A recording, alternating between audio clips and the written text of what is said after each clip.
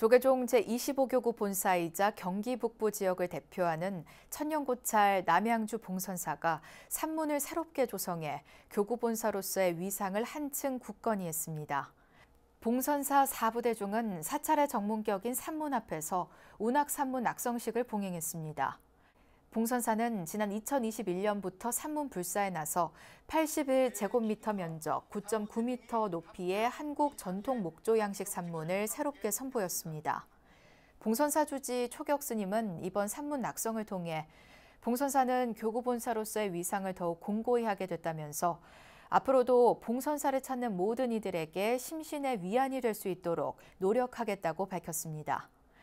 이 자리에서 주광덕 남양주시장은 앞으로 봉선사가 소장하고 있는 문화재들이 국보로 승격할 수 있도록 노력하겠다고 약속했습니다.